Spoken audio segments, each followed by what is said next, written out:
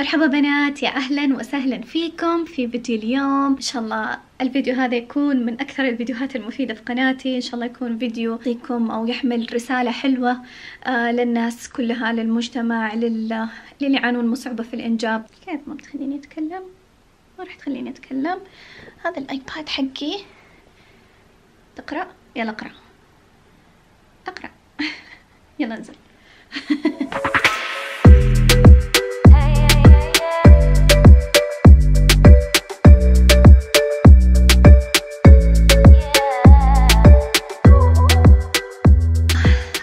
أقول لكم نفسي مقطوع بحاول إني أتكلم يعني كذا أوقف شوية وأتكلم وأوقف شوية. يعني ما تتخيلون قديش أخذ مني عشان أتكلم بذا الفيديو وقت مرة مرة طويل وشجاعة. أقرر أتكلم ولا ما أتكلم أقول تجربتي ولا ما أقول تجربتي. كثير منكم كتب لي على سناب شات اللي مو متابعين على سناب شات تعالوا تابعوني هناك.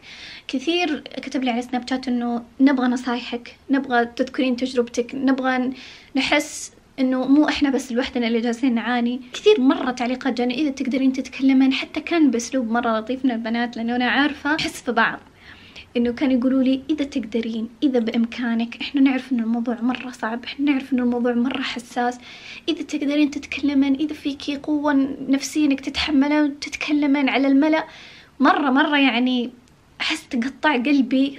ما أبكي قطع قلبي مرة على يعني على التعليقات وأنا أقرأ إنه يلا كيف في كثير ناس تعاني وأنا منهم ونخاف من الناس نخاف من كلام الناس. يعني فوق مو الواحد هو جالس أصلا يعاني فوقها كمان نخاف من كلام الناس. وهذه جزئية كمان مهمة إنه أنا بتكلم عنها في هذا الفيديو. أبغى أزيد الوعي في المجتمع. مجتمع أبغى الناس تعرف ما أبغى ما أبغى أي أحد يمر بهذه التجربة. ما ودي أي أحد إنه يمر في هذه التجربة. الشيء الثاني إنه أبغى أحسس كل الأزواج اللي جالسين يعانون انه مو بس أنتم اللي جالسين تعانون ومو لوحدكم. وفي ناس كثير وفي فئة كثيرة جالسة تعاني بس إنه ممكن واحد قاعد يعاني في الخفاء أو إنه يعني يكون شجاع ويتكلم بكل صراحة ويشارك يعني معاناته للناس.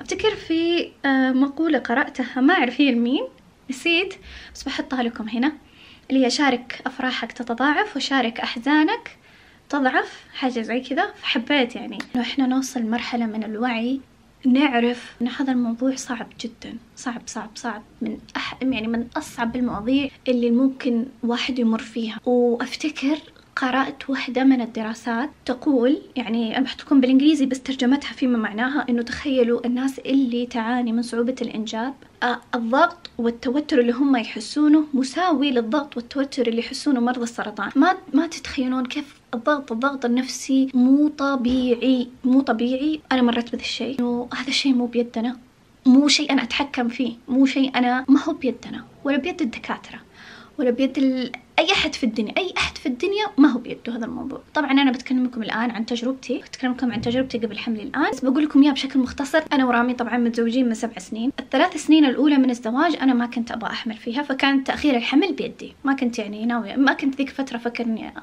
أجيب أطفال. يعني مو مو مو أنا قراري بس كان قراري أنا ورامي إنه إحنا ما نبغى نجيب أطفال في الثلاث سنين الأولى. بعد الثلاث سنين الأولى قررنا وفكرنا إنه إحنا نبغى نجيب أطفال. آه عدت طبعا آه الزوجين لما يعدي سنة ما صار في حمل لازم يراجعون المستشفى يشوفون شو المشكلة. فإحنا كملنا سنة بعد الثلاث سنين هذه يعني نقول أربع سنين زواج. بعدها بدأنا آه نتوجه للمستشفيات ونشوف شو المشكلة نسوي فحوصات وزي كذا. كان في 2019 آه بدأنا فحوصات وكذا وحاجة يعني ناس لازم تفهمها. الثلاث سنين هذه الأولى لما كنت أنا ما أفكر آه أجيب يعني فيها أطفال كان علي الضغط ضغط هائل ضغط هائل من المجتمع حوالين إنه إيش في مشكلة عندك؟ ليش لحد الآن ما جبتي أطفال؟ ليش ما تجيبين أطفال؟ لا هذا مو شيء أنت تقولين أنا ما أبغى ولا شيء إنك تقولين تأخرينه لا. لازم تجيبين أطفال الحين. أقسم بالله العظيم من ثاني شهر زواج واحدة جت كلمتني على جنب قالت روحي تعالجي. من ثاني شهر زواج والله العظيم ما أنساها. ما أنسى كأنها أمس فجأة تمسكني على جنب تقول لي في حمل ولا ما في حمل؟ روحي تعالجي المستشفى روحي افحصي نفسك. توني لي شهرين شو المشكلة؟ ليه مرة مستعجلين؟ ما فاهم أنتم بتشاركوني في التربية ولا في الصرفية ولا إيش؟ ولا شو المشكلة؟ ولا بتنقرض البشرية؟ عشان كذا لازم أحمل من ثاني شهر. فكنت تخيلوا أنا ما كنت أحاول وكنت أعاني ضغط ما بالكم في ذي السنة اللي حاولت فيها والسنوات اللي بعدها. كان كمية الضغط الهائل. بدأنا فحوصات وزي كذا وزي ما قلت لكم كان الضغط جدا هائل من اللي حمل يعني كل ما أروح مكان كل ما أروح جمعة كل ما أروح مناسبة كل ما أطلع عند أحد كل ما أخرج حتى عند الغريب. ليه ما جبتي أطفال؟ ليش ما تجيبين أطفال؟ ليش ما تتعالجين؟ ليش ما تشوفين نفسك؟ ليش ليش ليش كل ذي السنين بدون أطفال؟ هذا الضغط أثر علي نفسيا أثر علي نفسيا لأنه أنا قدني أصلا في السنة ذيك جتني حالة صدمة صدمة ما هي طبيعية. تعرفون المراحل الخمس من الحزن؟ الحين أنتم بتعرفون القصة أنا مريت فيها كلها كلها كلها مراحل الحزن. في البداية أنا أصلا كنت في مرحلة صدمة ومرحلة إنكار إنه واو كيف إنه هذا الشيء ما ما صار لي؟ ليش ما صار؟ أنا كنت واثقة من نفسي اشد الثقة إنه أنا بحمل يعني. ما عندي مشكلة الحمد لله وما عمري عانيت من مشاكل ولا حتى رامي. فسوينا فحوصات أنا ورامي بدأنا نسوي فحوصات الفحوصات هذه يعني تاخذ وقت طويل مرة ما ما هي أسبوع يعني واحدة تشوفني في الأسبوع هذا تقولي ليه ما حملتي؟ الأسبوع الثاني تقولي ليه ما حملتي؟ يعني ما صار حمل ما أدري هم يتخيلون نقدر نحمل كل يوم؟ أدري كيف الناس تفكر يعني. بقول لكم فحوصاتنا أخذت مننا تقريبا أربع شهور مرة طويل مرة مرة طويل الفحوصات ما هي هينه ومكلفة جدا. مكلفة مكلفة جدا. الفحوصات هذه يفحصونكم بالعمق جسمكم بالعمق. كل شيء من فروة راسك لين ضفر إصبع رجلك. يسوي لكم فحوصات شاملة سواء الزوجة والزوجة كلكم الاثنين. كل الفحوصات سووها لي أنا ورامي. طلعت أو رجعت لنا بأنه أنا ورامي سليمين. ما في شيء. الفترة أنا قعدت أقول كيف كيف يعني سليمين وما يصير حمل؟ يعني أنا وقتها كملت سنة وزيادة عليها. تقول كيف يعني لحد الآن كيف ما صار؟ يعني إذا أنا وياه سليمين ليش يعني ما يصير حمل؟ الدكتور جالس يشرح لنا وكذا اللي كنا نتابع معاه. قال إنه في حالة من الحالات حقت اللي يعانون من صعوبة الإنجاب أو تأخر الحمل يسمونها حالة تأخر الحمل الغير مفسر. يعني إنه يظهر لهم بالتحاليل والفحوصات إنه الزوجين سليمين بس إنه ما في حمل ما يصير حمل. يوم صارت ذيك الفترة كنت أقول ها؟ كيف كذا؟ يعني يعني لازم يكون في مشكلة. ما في شيء اسمه إحنا سليمين. عشان يعني إذا بنتكلم بواقعية أكثر. ما راح أجمل الحالة هذه ولا راح أجمل الكلام ولا راح ألمعه. ما في شيء اسمه سليمين بس إنه حسب الفحوصات حسب أحدث الفحوصات اللي الآن يعني آخر شيء توصل العلم إنه ما في شيء. بس هو أكيد في شيء بس ما نعرف إيش هو. عرفتوا؟ آه الأطباء طبعا قالوا لنا اقترحوا يعني إحنا ما مشينا مع الدكتور. فرينا فرينا كل مستشفيات الرياض نبغى نبدأ معاكم رحلة علاجية. بنحاول إنه نسوي لكم أشياء كذا كذا خطوات. إن شاء الله يعني تصيب معاكم من البداية ويصير حمل إحنا جربنا من البداية علاجات كثيرة. آه سويت حقن صناعي آه ثلاث مرات فشلت اتجهنا للحقن المجهري.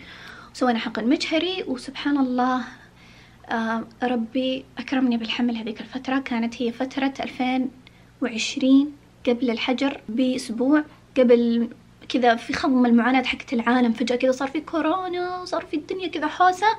أنا كنت في ذيك الفترة قاعدة أسوي العملية. بقول لكم إياه وأنا ما أبغى أصيح الحين إنه هذا الحمل يعني ربي أعطاني إياه ما هو أول حمل لي. وتقفلت الدنيا صار حجر والدنيا محبوسة والعالم محبوس. وأنا يعني لحظتها ورامي ما قدرنا نفرح بقوة بهذا الحمل. سبحان الله كان في عز الأزمة في عزة في بدايتها. الدنيا كذا ملخبطة حتى المستشفى حقنا اتصلوا علينا وقالوا لا نشوفكم لا تجون. قولوا في البيت. كنا كذا كذا الدنيا مخبوصة فوق تحت ولا ني داري عن شيء ولا ني عارفة الشيء ولا ني فاهمة الشيء ولا وش أسوي الحين؟ طب أنا حامل طب كيف أسوي؟ يعني متابعة هل محتاج متابعة؟ ما مره الوقت يعني ما أدري كيف أقول لكم ذاك الحمل. كانت تجربة صعبة صعبة صعبة. مرة بحيث إنها يعني أثرت علي نفسيا جدا يعني واحدة من أكثر التجارب الصعبة اللي مريت فيها. طبعا صارت أحداث كثيرة في العالم نسمع وفاة فلان وفاة فلان وبنت خالتي ذيك الفترة كمان توفت الله يرحمها جعلها في جنات النعيم.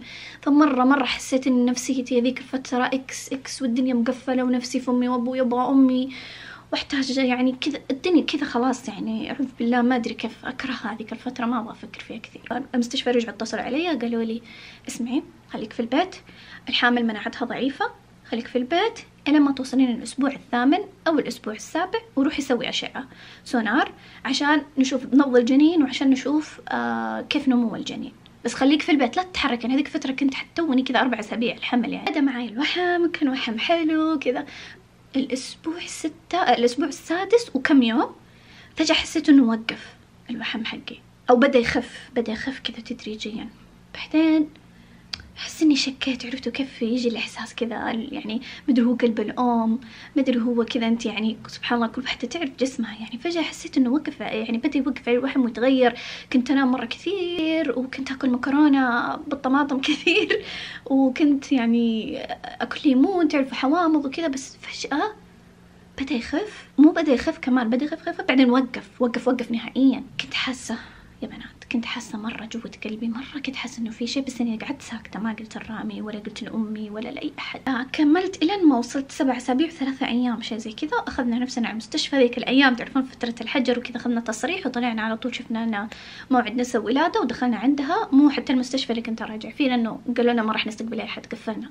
تابعت معهم تابعت مع هذه الطبيبة. أول ما بدأت تسوي لي السونار هي كانت فرحانة قالت آه أي في إف اي في اف يعني حقن مجري آه حاملين IVF ما شاء الله ألف مبروك. وكانت سعيدة حقت السونار. أو مبروك وما ادري إيش.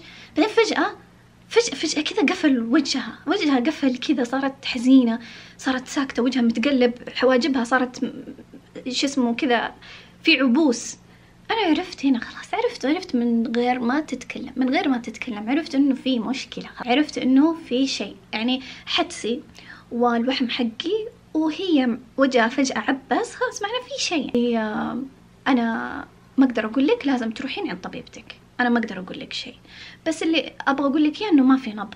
الحين يعني ما في نبض. جالسة تحط كذا تقرب تقرب على القلب حق الجنين ما في شيء يعني ما يطلع صوت ما في نبض. فقالت أنا بس أنا ما أقدر أقول لك شيء بس روحي عند طبيبتك وهي بتعلمك. دخلنا عند الطبيبة حقتنا. شوفي هي احتمال خمسين بالمية يكون يعني مو واضح لنا. احتمال خمسين بالمية يكون هذا إجهاض. فبس إنه يعني ليلي بعد أسبوع أو عشر أيام وإن شاء الله إحنا يعني يكون في أخبار ساره جاء الموعد اللي قبل رمضان. بالضبط الموعد اللي قبل رمضان. موعدنا جاء عشر أيام اللي هو قبل رمضان ليلة رمضان بالضبط. طلعنا على المستشفى عادت لنا نفس السونار. مرة ثانية وهي تسوي لي كذا. قالت يعني خلاص تأكد الموضوع. إنه إجهاض. ويعني لحظتها خرجت أفتكر من غرفة السونار انهارت بكى ما قدرت ما قدرت بكيت من قلبي المستشفى كان فاضي ما في حد ما في إلا أنا ورامي. مستشفى واحدة من أفضل المستشفيات في, الرياض وأكبر المستشفيات في الرياض. خرجت كذا الأسياب أطالع في الأسياب أقول كذا طالع في الأسياب ما في ولا مخلوق ما في ولا أحد. أطالع كذا. انهارت بكاء بكاء بكاء بكاء مرة. قوي كذا ورامي كان يحضني وأبغى كذا. ما أدري كيف كنت أحس أبغى امي بابوي باخواتي وأنا أروح بهرب. ما أدري من فين بهرب من الواقع ولا بهرب من الصدمة ولا ما أدري. وبدا رمضان. وجلست أعد الأيام إنه أحاول إنه يا رب إن شاء الله إنه ينزل ينزل ينزل. لأنه مرة صرت أتعب ظهري وكذا. صرت أحس بمغص كل يوم بس ما في شيء يعني. فكنت أقول يا الله يا رب يا رب يعني يا رب رحمتك يا رب فين نسوي كيف نمشي؟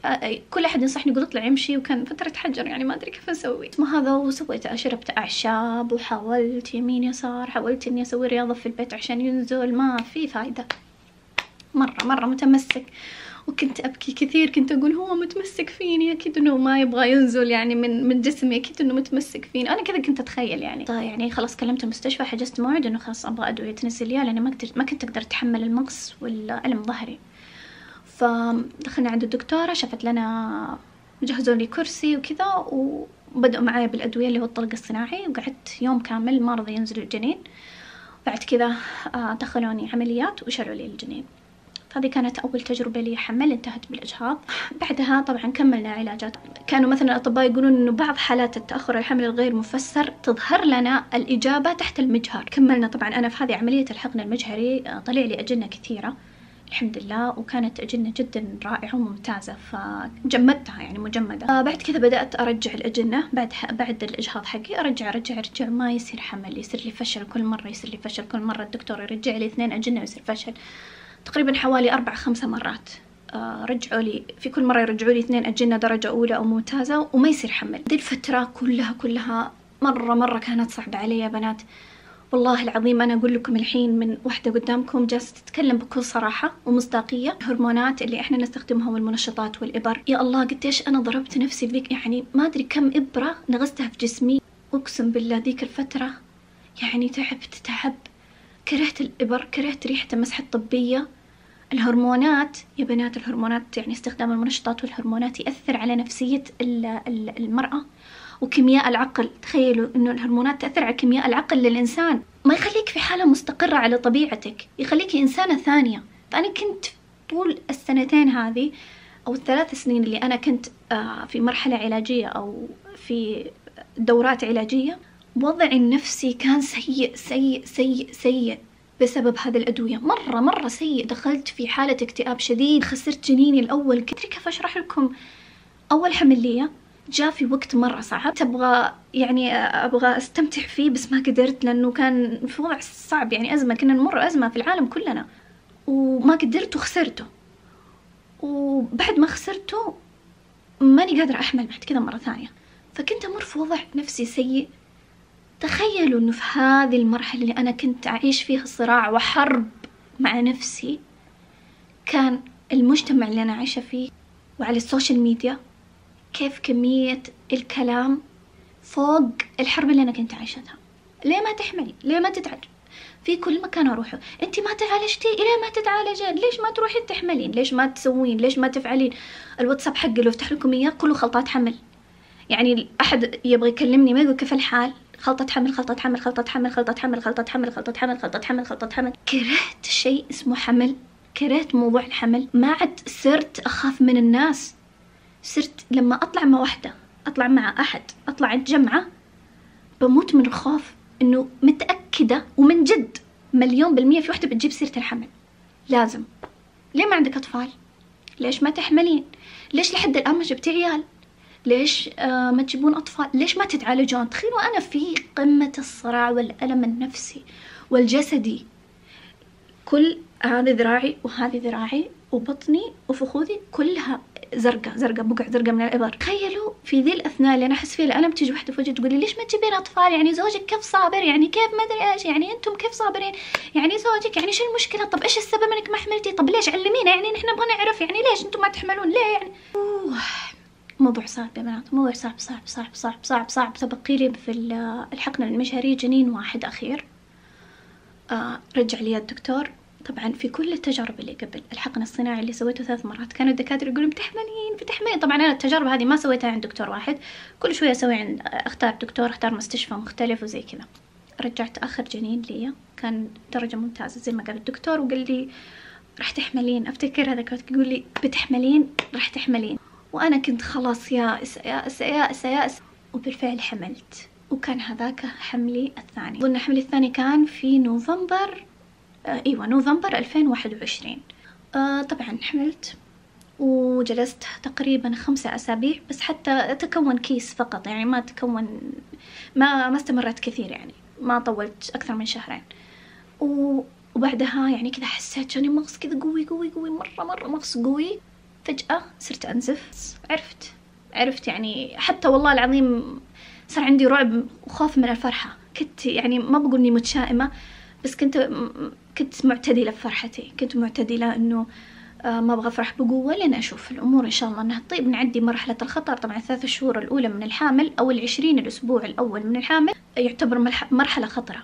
إنه في فرصة ان تحدث إجهاضات. طبعا كل ما كمل الحمل أسبوع ورا أسبوع تنخفض فرصة الإجهاضات. بس إنه في البدايات دائما تكون فرصة عالية حدث الإجهاضات. معتدلة يعني فرحتي وهذا ما كنت متشائمة بس كان يعني خلاص يعني توكلت على الله. وما زعلت كثير زي زعلي حق حمل الأول. طلعنا على المستشفى وخلاص تأكد لنا إنه هرمون الحمل حقي في الدم. جالس ينخفض ينخفض بقوة يعني. فخلاص إنه قالوا لي الدكاترة وقفي كل شيء وقفي الأدوية والمثبتات وكل حاجة. الجنين قاعد يعني خلاص انت بتخسرين الحمل يعني. آمنت بالله العلي العظيم. آمنت بالله وحده من قلب وأنا خارجة من المستشفى. لما قالوا لي الدكاترة راح ينزل الجنين. سيارة كنا في اللفة هذيك اللي كذا في الشارع أنا ورامي. قلت له آمنت بالله العلي العظيم إن هذا الموضوع بيد ربي ما هو بيدي. أنا بظل أسعى وبظل أحاول بس إنه آمنت من قلب قلبي من صماصيم قلبي. إنه ذا الموضوع بيد رب العالمين. أنا ماني متحكمة فيه. أنا كنت أقول لا بالأدوية الأطباء أصلا حتى كانوا يقولوا لي نسبة النجاح 60 70% 80% يعني أعلى حتى من الحمل الطبيعي. آه في ديسمبر أفتكر سوينا موعد ثاني وجلسنا نتكلم مع واحدة من أروع الدكاترة في في الرياض. طبعا دخلنا عندها وقالت لنا إنه آه عادي يعني ما هي مشكلة. نعيدها مرة ثانية ونعيدها مرة ثالثة. ممكن تفشل مرة أولى تفشل مرة ثانية وتفشل مرة ثالثة بس إنه يعني عشان إحنا ما ندري يعني في أشياء ما لسه خارج عن إرادتنا وعن علومنا ما نعرف إيش هي. إنه ممكن يكون طبعا سووا لي فحوصات بعد حمل الثاني. بعد حمل الثاني سووا لي فحوصات. اللي هي المناعة وتخثر الدم وذي الأشياء عشان يشوفون ليش وحدة يعني إذا سقطت كثير إنه يشوفون ممكن يكون مشكلة في المناعة أو مشكلة في الدم. لي فسووا لي هذه التحاليل والحمد لله يعني تخيلوا كمان رجعت طلعت سليمة تخيلوا يعني كمان ما عندي مشكلة في, في لا في الدم ولا في المناعة. سوري وقفت الفيديو. أفتكر كذا سلسلة الأحداث اللي صارت لي أو اللي أنا مريت فيها.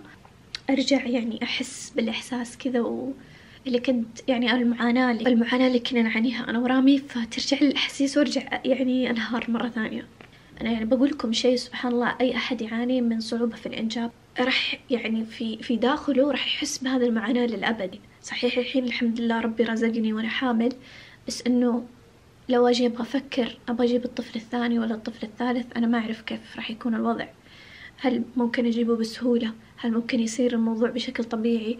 هل ممكن لا؟ برجع لدوامة المستشفيات والمحاولات والإبار والهرمونات والفلوس. هاي الدكتورة لما قالت إنه خلاص ممكن يكون في خلل في الكروموزومات وزي كذا بس قالت قالت كلمة صحصحتني.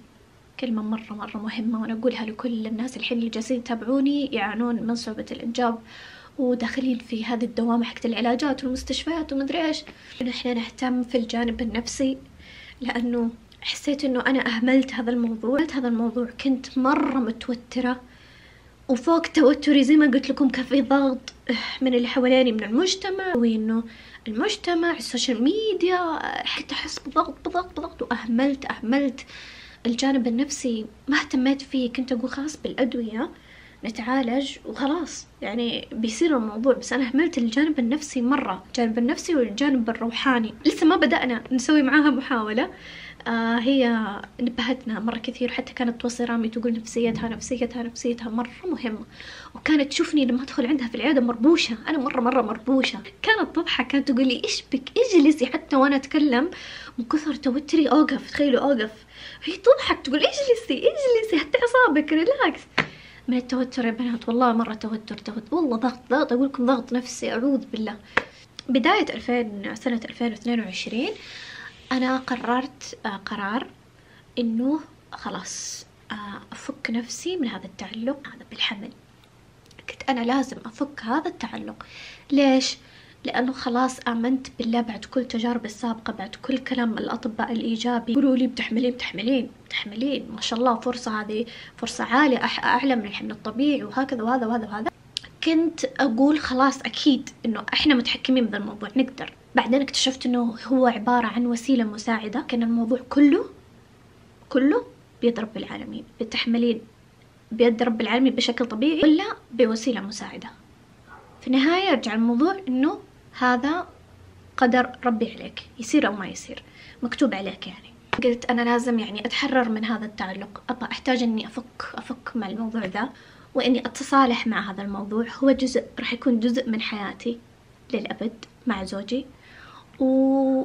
وهي مشكلة راح تكون ما أقدر خلاص أعيش في حالة نكران أو حالة غضب إني دائما معصبة. حتى من ضمن الدورات العلاجية السابقة كنت أعصب على الدكاترة كنت أعصب على المستشفى كنت أعصب على أقول هم السبب هم هم ما لهم سبب ولا شيء. هم مجرد سبب عشان يصير هذا الشيء. بس هم بيدهم مليون بالمية قاعد يحاولون بأقصى وأفضل الأشياء. زي ما قلت لكم شفتوا المراحل الخمسة من الحزن؟ كلها عديتها. لما وصلت سنة 2022 بدأت السنة بداية السنة بدأتها بالتسامح بالتقبل بالتعايش مع المشكلة. تقول يعني كذا اتفقنا أنا ورامي نقول إحنا بنسعى نظل نسعى للعلاج وكذا بس إنه ما راح أب... ما راح أسوي العلاجات وأنا متوتر ومعصبة ومدققة و... ولازم وكذا. لا لا لا لا بتوكل الأمر على الله وحده. كنت أقول أبغى أستمتع. أبغى أوريكم حاجة. الدكتورة دلال حطتها في سناب حقها. قلت لها لا شيليها الناس لسه ما طبعا أنا أتواصل مع الدكتورة دلال آه، على الواتساب حقها. والله ممكن هذه الحاجة تضحككم يا بنات بس والله هذه واحدة من الأشياء اللي طلبتها من امازون على أساس إنه يستعد لمحاولة حقن مجهري. أنا ما راح أخوض هذه التجربة الحقن المجهري زي التجربة اللي قبل. لا أبغى أكون مرة مرة مرة كذا متحمسة وسعيدة وكذا وأضحك وخصوصا إنه يعني شخصيتي ركبت مع شخصية الدكتورة فإنه هي فرفوشة وضحوكة فطلبت لي هذا الشراريب. قلت عشان أضحك الدكتورة لما أسوي المحاملة المحاملة المحاولة. هذه شراريب طلبتها من أمازون. آه مكتوب عليها lucky transfer socks وهذا stick baby stick هذا إثبت يا نونو اثبت وهذه آه إن شاء الله يكون يوم محظوظ آه ترجيع الأجنة وزي كذا إنه إن شاء الله يكون يعني شيء إيجابي ومحظوظ زي كذا. فقلت بلبسها وأوريها دكتور دلال يعني كذا أجلس أنا وياه نكت ونضحك كذا نفرفش عاد شو نسوي؟ أنا ورامي قاعدين نقول إنه خلاص لازم نتعايش مع المشكلة هذا الجزء فينا. على قول رامي إنه كمان جلس يقول هذا بيكون جزء من نمط الحياة حقنا. إنه إحنا لازم آه خلاص نكون في المستشفى دائما دائما دائما يعني أغلب وقتنا يضيع في المستشفى عشان نحاول إنه نجيب أطفال. وإنه كمان فلوسنا تطير. سو so أنا ركزت على جوانب كثيرة من بداية السنة. ركزت على الجانب الجسدي جسمي الصحي. مع إنه أنا الحمد لله من زمان أنا مرة مرة أهتم. من زمان من زمان من قبل ما أحاول أحمل. ابى أعرف زيادة إيش ممكن يفيدني. ابى أحتاج أفهم زيادة. آه ركزت على الجانب النفسي. وركزت على الجانب الروحاني. الجانب المادي ما بفكر فيه. خلاص صار ما يهمني. صرت ما أقعد متوتر واقول يو دحين إذا خسرت هذه المحاولة وإحنا دفعنا هذه الفلوس خلاص ما يهمني. بحاول والحمد لله ربي يعوضنا إن شاء الله من عنده. كذا كنت أفكر. كيف أنتي تقبلت الموضوع؟ كيف كنتي عايشة؟ كيف كنتي سعيدة؟ yes هذه كمان واحدة من الأشياء. ترى يا بنات إحنا على ال social media اللي نشتغل ما نبين لكم الجانب السيء؟ إيش تبغون إيش تبغون بالجانب السلبي في حياتي؟ أقعد أبكيكم يعني كل يوم ولا أخليكم حزينين. الواحد يبغى يفتح يوتيوب يبغى يفتح قناتي يبغى يتفرفش يبغى يكون سعيد يبغى يشوف أشياء إيجابية. فأنا ما أصور لكم إلا اللحظات الإيجابية في حياتي. عدا عن ذلك حرام. ليش؟ والله أنكم مساكين حتى أنتم. كل واحد فيه اللي يكفي كل واحد فيه له همومه اللي يكفي. كذا أنا ما عمري قد بينت هذا الجانب. في منكم شريحة أو فئة حست بال بال بال بالفترة اللي أنا كنت فيها ضايعة نفسيا وكنت مكتئبة جدا في ناس كتبوا لي رنا أنت فقدتي حيويتك رنا ما صرتي زي زمان وعد هذا الشيء خارج عن إرادتي ما كنت أقدر يعني أكون زي أول يعني زي قبل ما أنا كنت أعاني واكتشف إني أنا فيني في مشكلة يعني في الحمل. فالجانب النفسي ركزت عليه إنه أبغى أتحرر من هذا التعلق. أمي الله يسعدها قالت لي كلام مرة مرة حلو هذاك اليوم قالت لي يا بنتي لازم يعني إذا الله ما كتب لزوجين انهم يجيبون اطفال ما هو اجباري. قالت أنا اعرف ناس كثير ازواج والله انهم عايشين خمسين ستين سنة وهم مرتاحين مع بعض وسعيدين بدون اطفال لأنه هذا الشيء مو لازم. صحيح انه حلو وزينة الحياة الدنيا بس إذا ما صار ما هو لازم. ما يعتبر إنه في خلل في العلاقة بيني وبين رامي أو خلل في زواجنا. لا. تقبلي هذا الموضوع. كانت تقول لي زي كذا. أمي لما قالت لي ذا الكلام حسيت ال ال ال الثقل اللي كان على أكتافي كذا طاح. طاح حسيت إنه قلت أمي قاعد تقول لي ما هو لازم. إيش فيني أنا قاعدة أفكر كذا؟ الحمد لله أنا ورامي متفقين آه شو اسمه مجانين. آه نشد شعر بعض نضحك مع بعض. آه نفرفش مع بعض نلعب مع بعض نسافر مع بعض. شو المشكلة؟ شو المشكلة؟ ناقص في حياتنا أطفال. طب بس مو الح... مو الأطفال كل الحياة، الأطفال مو كل الحياة، ممكن يجون يجون بشر، ممكن يجون يجون بخير ما حد يدري، ما أعرف ما حد يعرف المستقبل ولا أحد يعرف قضاء وقدر، غير إنه أنا فكيت أو حررت نفسي من. من التعلق، ما أحد يضايقني بالكلام، سواء في الحياة حقتي الواقعية يعني المجتمع اللي حواليني أو على ال social media، ما أقول شيء. خلاص. إيوه صح أنت صح. أنت تعرفين إنه أنت إذا ما جبتي أطفال لك أطفال إيش زوجك ممكن يتزوج عليك؟ طب أنت تعرفين هذا؟ إذا ما جبتي أطفال بتكبرين وحيدة. طبعا كثير كانوا يكتبوا لي على سناب شات إنه هل ممكن انت عانيتي من كلام الناس. واو كلام الناس رقم واحد معنا رقم واحد. كلام الناس أساليبهم الدقدقة دقدقة بالكلام من تحت لتحت. أنا كنت جالسة مع مجموعة بنات وأنا مسكينة هبلة كذا ما أدري فين حطني وأنا بالي في وادي ثاني بالي تجي من تحت لتحت. تتكلم تدق تدق فيني واللي هذا واللي ما تقدر تنجب أطفال واللي واللي واللي ما عندها طفل حياتها ناقصة ومملة وأنت ما أنت سعيدة ويحكمون علي إني أنا ماني سعيدة أنا ماني سعيدة. هم يشوفون إني أنا ماني سعيدة. صار أي أحد يكتب لي كلام صار أي أحد يقول لي شيء أي أحد يرسل على الواتساب خلطات تساعد على الحمل الدكتور يساعد على الحمل كأني ما أفهم شيء كأني بقرأ ما أفهم حاجة كأنه ما أعرف أدور بنفسي كأني ما عمري قد جربت شيء. كل أحد دائما يكلمني يحس إنه هو اللي فاهم وأنا ماني فاهم هو عارف وأنا ماني عارفة. ولا وسوي الشيء الفلاني. والله بيد هذا كان كل أحد يكلمني سبحان الله الوصاية هذا ما أدري كيف أسلوب الوصاية كيف يجي إنه إحنا أفهم منك إحنا نعرف أكثر منك. ما حد يفكر بشعوري يقولون إيش هي ممكن تحس الآن؟ إيش ممكن هي يعني تمر فيه الآن؟ إيش هي يعني قاعدة تعاني فيه الآن؟ أنا ما بزود عليها بكلامي أكيد إنها هي أعرف. صدقوني والله يا بنات ما في وحدة. ما في أحد في الدنيا ممكن يخاف علي يخاف علي وعلى مصلحتي وعلى هذا. كثر أمي وأبوي. من يجي بعد أمي وأبوي؟ نفسي. يعني إذا أمي وأبوي ما يدرون مثلا عن شيء فهم ما ما عبروا لي عن خوفهم علي أنا أخاف على نفسي. كيف أحد يجي يقول لي كلام أنت ليش ما تتعالجين حياتك كذا وحياتك وأنت ليش ما تجيبين أطفال؟ إحنا نخاف عليك إحنا بس نبغاك نشوفك سعيدة. يعني هل من الممكن إنه أحد يخاف علي كثر نفسي؟ آمنت من جوة قلبي. يا رب إذا أنت مقدر علي هذا الشيء فهو خير لي. وآمنت من جوة قلبي إنه إذا ربي بيرزقني بيرزقني في الوقت المناسب لي لحياتي. وآمنت من جوة قلبي إنه يا رب إن كان في خير علي الحمد لله. كان في شر علي فاصرفه عني. آمنت من جوة قلبي إني أنا ما أتحكم بذا الشيء. أنا ما هو تحكم ما أبغى أشرح لكم الشعور إني كنت كنت أحس إني أنا بتحكم بذا الشيء. ما هو بيدي ما هو بيدي ما هو بيدي أبدا. ولا هو بيد أحسن دكتور في الدنيا. إذا ربي ما هو رايد ما هو رايد. خلاص آمنت بالقدر خيره وشره من قلب من قلب من قلب. من الجانب الجسدي الصحي يعني آه، اكتشفت كتاب في عام 2019 بس ما كنت يعني قرأت عنه reviews ملخصات أشياء زي كذا بس إني ما ما ما امتلكته يعني ما ما ما اشتريته. لما أنا اشتريت ال iPad حقي الحمد لله من جد يعني شكرا يا ربي شكرا على هذه النعمة. آه، حملت Kindle تطبيق Kindle حق أمازون تطبيق Kindle حق أمازون تفتحونه. طيب ويكون تقدرين تشترين كتب رقمية ديجيتال آه خصوصا يعني مثلا الكتب اللي ما ما نلاقيها هنا في السعودية ما نلاقيها إلا في أمريكا أو شيء زي كذا ما كيف نجيبها يعني؟ آه بحط لكم صورة الكتاب هنا هذا الكتاب حملته اشتريته. آه هذا هو وأخذت أخوه لأنه في نص الكتاب هي نصحت إنه إحنا نشتري آه أخوه. الكتاب الأخوة. فهذا كتاب اسمه It Starts with the Egg. آه للكاتبة اسمها ريبيكا. تكلمت عن آه في هذا الكتاب عن تجربتها هي أنها كانت تعاني من من آه من حالة اسمها حالة مخز... نقص مخزون المبيض. كان عندها نقص في مخزون المبيض.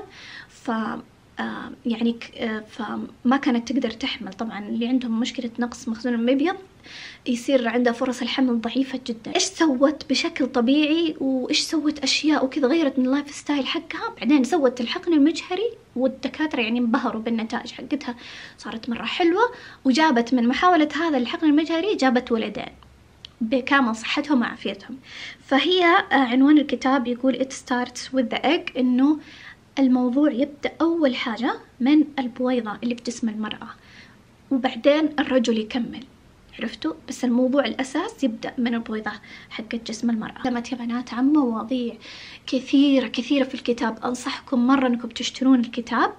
بس لا تشترونه اللي ما تعرف إنجليزي لا تشترينه كتاب كذا عادي تشحنينه من أمريكا لا أنصحك. اللي ما تعرف إنجليزي أنصحها أنها تشتريه كذا digital ليش؟ لأنك في خيارات تقدرين تترجمين. كذا تظللين الكلمة وتترجمينها وتصيري تعرفين. حتى مثلا في كلمة كذا ما فهمتي إيش هي تنسخينها تحطينها في جوجل وتشوفين إيش تتكلم عنه بالضبط مرض معين ولا أدوية معينة ولا أكل معين. المهم إنه في هذا الكتاب تكلمت عن مواضيع كثيرة. أحد المواضيع اللي هي تكلمت عنها آه اللي هو موضوع خلل الكروموزومات اللي يسبب إجهاضات للبنات يعني للحريم. آه يكون مثلا من جودة البويضة أو من جودة الحيوان المنوي للرجل فيكون إذا تجانسوا مع بعض يصير في خلل في الكروموزومات فيسبب إسقاطات دائمة يعني تكلمت عن إنه هذه المشكلة آه، سببها من السموم البيئية السموم البيئية اللي إحنا نعيش فيها تخيلوا. يعني ما يكون مثلا في سبب عضوي مثلا آه، في عندها مشكلة في العضو الفلاني لا لا لا لا, لا. يكون مشاكل من البيئة اللي إحنا عايشين فيها. تكلمت عن أهم موضوع أهم موضوع اللي هو موضوع البلاستيك. كيف إنه في حياتنا إحنا كل شيء آه مصنوع من, البلاستيك ومن مادتين موجودة. هذه المادتين هي أكثر سمية للجسم ما يقدر يتخلصها ما يقدر يتخلص منها الجسم فتقوم تأثر على خصوبة خصوبة المرأة والرجل. أسماء هذه المادتين عشان أتكلم لكم عنها بس بالمختصر اللي هي مادة ال BPA الموجودة في البلاستيك. آه قديش هي مرة مضرة. يعني تعرفون كثير ناس يأكلون بالبلاستيك كل يوم يأكلون في صحون بلاستيك. يحفظون الأكل حقهم في حاويات بلاستيك بس ما تكون نظيفة ما هي مخصصة للحفظ تكون أي بلاستيك كذا من محلات بريال وريالين وما هي كويسة يعني. آه تكلمت أيضا عن مادة اسمها ثلا الثلاث أتوقع كذا تنطق اسمها بحط لكم اسم المادة والله ما أعرف كيف أنطق اسمها. عموما إنه هذه المادة تخيلوا موجودة في أغلب أو حتى ممكن جميع الأشياء العناية توم قريب آه في منتج من السوق انسحب من السعودية لأنه اكتشفوا إنه فيه له مكون يسبب العقم حق شعر شامبو شعر تتذكرون؟ تخيلوا يا بنات إنه في هذه المادة موجودة في أشياء كثيرة كثيرة إذا الجسم امتصها يصير صعب عليه يتخلص منها. المادة موجودة في منتجات الشعر موجودة في منتجات البشرة موجودة في آه في العطور في المكياج منتجات تصفيف الشعر في المناكير. تخيلوا حتى المناكير اللي إحنا نحطها على الظفر. الظفر هو يعتبر جزء ميت من الجسم. تخيلوا إن الظفر يمتص يمتص المواد السمية من المناكير وتدخل في جسمك. آه تكلمت عن السكر وكيف يأثر على الجسم السكر الأبيض أو زي ما نقول الناس تسميه السم الأبيض. كيف يأثر على الجسم وعلى مقاومة الأنسولين وعلى موضوع بحر بحر. تكلمت عن فيتامين د وأهميته إنه كيف إنه إحنا زي إحنا مثلا البنات عندنا في السعودية دائما أو غالبا إحنا نجلس في البيت ما نتحرك ما نطلع نمشي. وصراحة ما ألوم أنا الشمس مرة حارة ما أدري كيف نروح نمشي. يعني وين نمشي؟ ما ندري. فتكلمت إنه كيف إنه نقص فيتامين د يقلل من فرص الحمل. كيف إنه الجنين لما يصير في الرحم ما يلزق في الرحم. يصير في يقل تقل. فهو سبحان الله فيتامين د لما يكون مستواه مرة حلو في الجسم يخلي بطانة الرحم أكثر تقبلا للحمل. سبحان الله. أتكلمت عن النظام الغذائي. وشددت ونوهت نوهت على إنه أي أحد يعاني من مشاكل في الخصوبة إنه يبدأ يقلب نظامه الغذائي يخليه نظام البحر الأبيض المتوسط.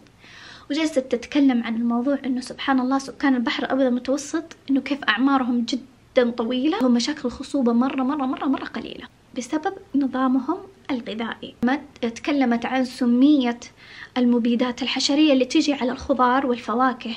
كيف إنه إحنا مثلا إذا أكلت مثلا توت كيف إنه مثلا التوت غسلته بس كذا وأكلت؟ إنه التوت ما يقدر يتخلص من المبيد الحشري اللي فوقه. إذا أخذت يعني فأنت تأكلين وتأكلين بالسمية حقته بالمبيد الحشري فهذا يقوم يخرب كل اللي في جسمك من دون ما يظهر يعني أعراض. تكلمت يا بنات بشكل عميق عميق عميق عميق عن كل شيء يعني ما أقدر الفيديو ما راح يكفيني إني أتكلم عن كل التفاصيل. عشان كذا أنا أنصحكم تشترون الكتابين وتقرؤون أول شيء الكتاب الأول بعدين تقرؤون الكتاب الثاني. فصلت فيه الأكل. بال... اتكلمت مرة بالتفصيل مرة أنصحكم وتسجلون كل ما قرأتوا معلومة من عندها سجلي سجلي عندك. تكلمت عن أشياء مرة مهمة وحلوة. فأقولكم لازم يعني من جد من جد please please حملوا الكتابين please اقرأوا please please والله ما تخيلون كيف مرة فادني. فأنا سجلت كل الأشياء كذا عندي في, في ال note وبدأت تدريجيا ما خليت نفسي أدخل في مرحلة وسواس لأنه طبعا قرأت ردود أفعال ناس كثير إنه لما قرأوا الكتاب حسوا بضغط نفسي أكثر من اللازم إنه كيف أنتبه على كل شيء كيف أقدر أدقق على كل شيء. صعب جدا. آه أنا الحمد لله لما قرأت ردود فعل الناس وأنا بقول لكم الحين عشان تستفيدون أول ما تقرون الكتاب بتحسوا إنكم دوشة. بتحسون oh my God معلومات مرة كثير كيف أنا أقدر أسوي كل ذا مرة صعب. لكن إحنا إيش نسوي؟ نحسن تدريجيا من نمط حياتنا باللي بالشك بالشكل اللي مكتوب في الكتاب. ومو كل شيء تنفذينه اللي في الكتاب لأنه مرة صعب. مستحيل. يعني مثلا المنتجات حقت البشرة الشعر كيف أنا أقدر؟ يعني كيف صعب؟ أقوم أعيد من أول وجديد وأشتري كل شيء من أول وجديد؟ لا. صرت أقلل. مثلا أقلل أحط مناكير أقلل مثلا أتعطر. أقلل مثلا آه، أستخدم شموع بريحة عطرية. آه، أقلل مثلا أحط مكياج. ما هو كل يوم زي أول؟ كنت كذا كل يوم كل يوم كل يوم كل يوم. خلاص أبدأ أقلل أقلل. عرفتوا؟ آه، يكون شيء مرة قليل. يعني بدون وسوسة بدون وسوسة بدون ما أحس إنه كأنه موضوع كأني داخلة حرب. قالت تكلمت عن جزء مرة حلو وهو أحلى جزء في ال في ال في الكتاب اللي هو أنا ما قد سويته من قبل إنه تكلمت عن فصول. اللي يعاني من الشيء اللي كذا أنصحكم بهذه المكملات. الصحية. اللي يعاني من الشيء كذا أنصحكم بهذه المكملات الصحية. فهي تكلمت في جزء عن اللي يعانون من مشكلة آه تكرار فشل الحقن المجهري أو الإجهاضات المتكررة. قالت هذه المكملات كلها لازم تأخذونها قبل المحاولة الجاية. أشتريت كل اللي هي كتبته بحط لكم إياه هنا. اشتريته كله من iHerb please please اللي الآن بتسمع كلامي. آه إذا بتشترون اشتروا نفس الماركات اللي أنا حطيتها. الروابط تحت صندوق الوصف لأنه هذه بعد ما بحثت بشكل كبير هذه الأفضل جودة في الصناعة لأن هي تكلمت في الكتاب عن ذا الشيء. مو أي مكمل صحي ناخذه مو أي شيء كذا من أقرب صيدلية. ترى في تفاوت في درجات التصنيع يعني في جودة عالية في أفضل مكونات في مدري إيش. فأنا بحط لكم أفضل أفضل أفضل أفضل الأشياء تحت في. في صندوق الوصف. بعطيكم كمان عليه كود خصم عشان يخصم لكم من المبلغ. وأيضا رامي نفس الشيء. آه رامي طبعا راح عند دكتور. هي ما تكلمت كثير عن الرجل بس قالت إنه هو لازم يحسن ولازم يأخذ مضادات أكسدة وكذا. لا رامي راح عند دكتور وأعطاه آه مجموعة فيتامينات. بحط لكم هنا الصورة. هذه أخذها رامي من السعودية. فهو بدأ في هذه الأشياء وأنا بدأت فيها. الفكرة كيف؟ الفكرة إنه قررنا أنا ورامي إنه بداية السنة إنه خلاص ما عاد نفكر في الموضوع نتحرر منه. وإنه آه نبدأ نحاول آه محاولة الحقن المجهري بس إنه كيف؟ إنه آه بتصالح وبحماس وبسعادة. قررنا أنا ورامي إنه إحنا نعيش حياتنا. والله أمس كنا نتكلم كل شيء نسترجع هذا الكلام نقول يا الله سبحان الله. كل شيء كان كنا موقفينه عشان موضوع الحمل بنكمل. بنكمل فيه. زي مثلا أنا ما كنت أقدر أشترك في نادي رياضي كنت إذا في شيء رياضة أسويه في البيت بس بعد كذا لأنه كل ما ابدا محاولة لازم أوقف رياضة آه قاسية أو رياضة مثلا بس أطلع أمشي وأرجع. بس ما ينفع اشيل اثقال ثقيلة وكذا ما ينفع. مثلا آه، كنت أبغى أكمل جلسات ليزر لجسمي وقفتها كلها ما سويت ولا شيء خلاص. جلسات عناية حقت بشرة وكذا عند هذا ما أبغى لأنه كل المكونات ما تنفع للحامل. آه، أشياء كثيرة يا بنات كنت موقفتها قررت إني أنا أكملها ونفس الشيء رامي. رامي كان يقول لا أنا ما أقدر أدخل جاكوزي أنا ما أقدر ما أدري إيش ما خلاص صار صار يقول خلاص. بدخل. آه سبحان الله بدأنا السنة كذا وقاعدين نفكر أنا ورامي قلنا نبغى نسافر فقررنا إنه إحنا آه في سنة 2022 كنا نبغى نسافر في بداية السنة اللي واحد واحد. وتذكرنا أكيد واحدة من الفلوجات حقتي قلت إنه آه ودي نسافر متى قال رامي؟ طب افرض جتنا كورونا وإحنا بنسوي محاولة عن قريب. وكورونا طبعا الكورونا إذا جت للزوجين تأثر على نتائج الحقن المجهري. خلينا أحسن نسويها في خلينا خليها بعدين خليها بعدين. المهم سبحان الله سافرنا على جدة ذيك السنة بعدين قال خلاص خلينا نطلع موريشوس على إجازتي في جون أنا ورامي. سبحان الله ربي إذا أردت شيء والله مهما كانت الأسباب المعيقة بيريد لك ربي بيريد لك. مهما كان في أسباب معيقة مهما أي شيء عشان أنا بقول لكم كيف القصة تضحك إنه سبحانك يا رب. سافر على جون إن شاء الله موريشوس ما أدري المهم كان المفروض إن إحنا نسوي حقن مجهري في في شهر ثلاثة من هذيك السنة 2022 بعدين أجلنا. بعدين سبحان الله جاء رمضان. نزلت عند أهلي في جدة. بعدين فجأة آه، كلمنا كلمنا مستشفى. قالوا خلاص بعد رمضان تعالوا عشان نبدأ محاولة. نشوف يمكن تزبط يمكن ما تزبط. قلنا كذا. طلعنا على هذا وبعدين جتني كورونا. آه لما جتني كورونا كلمنا الدكتورة دلال قالت لا ما أنصح أبدا بتطلع نتائج مرة مو حلوة. استني شهرين. آه بعدين لما استنيت شهرين آه ما كان معي. متى كان هذا رمضان؟ خطأ خطأ معليش ما عليكم في الشهور. المهم إنه بحكي, بحكي لكم تسلسل الأحداث. حجزنا على موريشوس قلنا بنسافر موريشوس وبعدين نرجع نسوي الحقن المجهري. آه بعدين شو اسمه هذا حجزنا على موريشوس سافرنا آه حجزنا على موريشوس فجأة جت لنا كورونا كلمنا الدكتورة قالت لازم تنتظرون زيادة ثلاثة شهور فأجلنا العملية إلى نوفمبر. وتتذكرون سالفة موريشوس؟ البنات اللي يعرفوني يتابعوني بحب وخلاص هم اللي فاهمين دي السالفة. اللي ما يعرف شو السالفة يروح يشوف vlogات اللي قبل.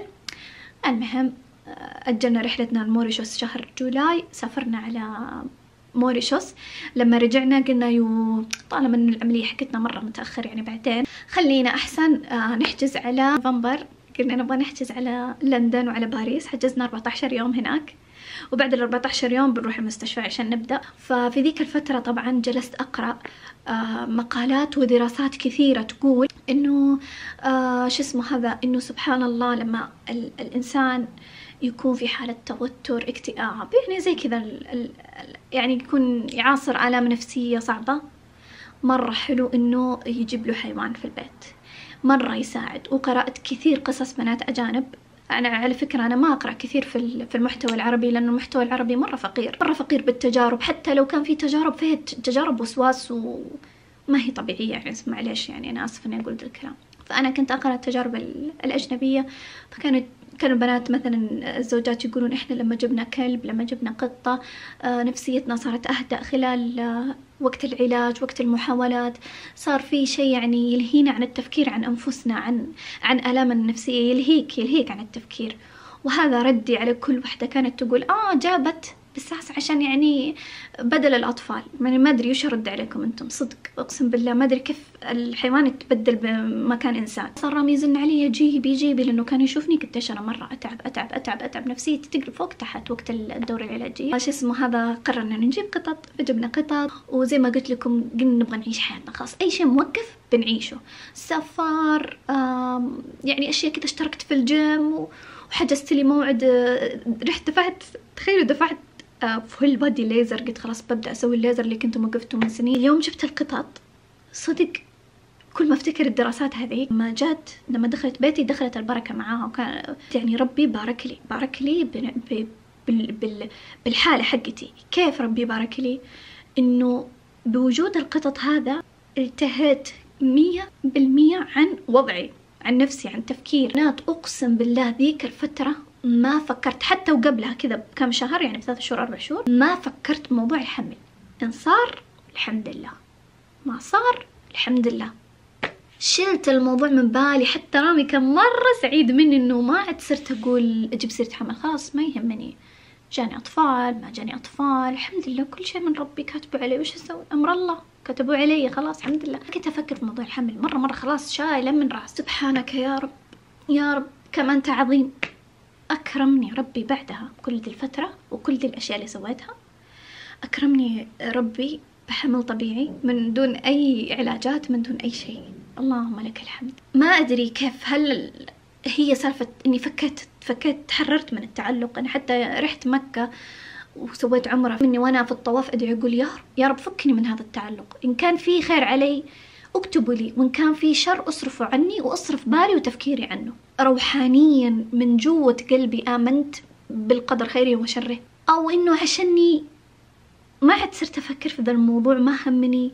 هل من جد هو كانت مشكلة نفسية أصلا؟ بس إنه لما أنا جبت القطط حتى قبل ما أبدأ الدورة العلاجية هم خففوا عني وساعدوني. أو عشان المكملات الصحية اللي أنا استخدمتها. استخدمتها ذيك ترى أنا استخدمتها قبل قبل ما نبدأ حقن مجهري المفترض كان بيكون في نوفمبر نهاية نوفمبر بداية ديسمبر. آه، استخدمتها شهرين. هل هي السبب؟ هي السبب؟ ضبطت شيء بجسمي؟ ما أدري. شالت يعني أنا جسمي أنا ورامي ما أعرف. ولا هي مجموع مجموع كل ذي الأسباب؟